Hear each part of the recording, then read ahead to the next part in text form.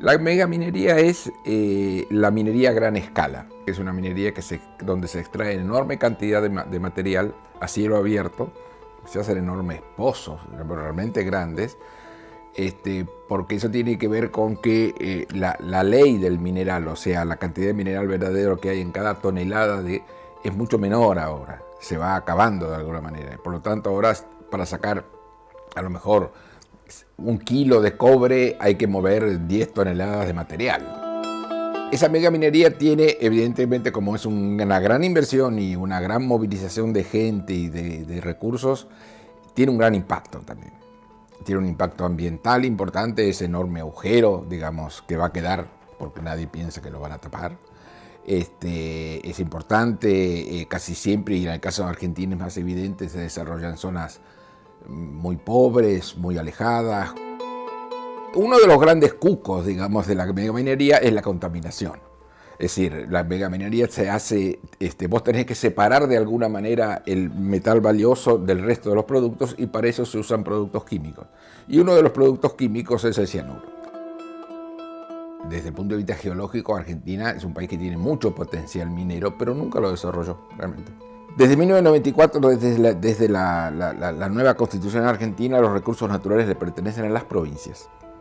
O sea que no son más un recurso del gobierno federal. Por lo tanto, cada provincia es la que tiene que decidir si va a aceptar o no la megaminería. Hoy en, en actividad hay unos nueve yacimientos en diferentes provincias, en San Juan, en Catamarca, en La Rioja, este, en Santa Cruz.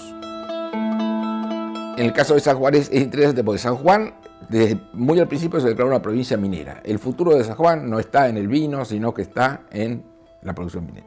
Eh, entonces se instala esta gran compañía Barrick, una de las más grandes compañías del mundo, realmente, ¿no? Este, sin demás, es decir, no tuvo problemas la Barrick en instalarse realmente. Y tampoco generó problemas hasta ahora. Se produce este hecho.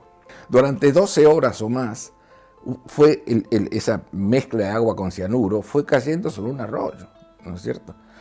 Entonces, ¿qué hay que hacer? Bueno, inmediatamente lo que hay que hacer es este, a ver cuál es el grado de contaminación. Y ahí empieza el sainete de este caso. Siempre en los casos de, conflictos ambientales o socioambientales aparece el tema de lo que podríamos llamar la certeza. ¿Quién, quién es un informante seguro?